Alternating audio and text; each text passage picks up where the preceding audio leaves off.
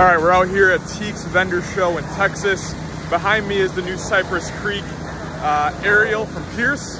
This thing is beautiful and it's fully decked out in FireTech BG2s. Look at this thing go. Set up for trap tractor and warning. They're in the wash bay right now, giving it a quick rinse. Let's go up front here. And what's cool about the BG2s is those optics are designed to be seen at a distance. So they don't blind the, uh, the, the, firefighters around the truck. They only hit you when you're back about 50 feet, which is really, really cool. So they're super bright right here. And as you work up and get closer, those optics start missing your eyes. And uh, you as a firefighter right here, nothing in your eyes. It's a really, really cool tech.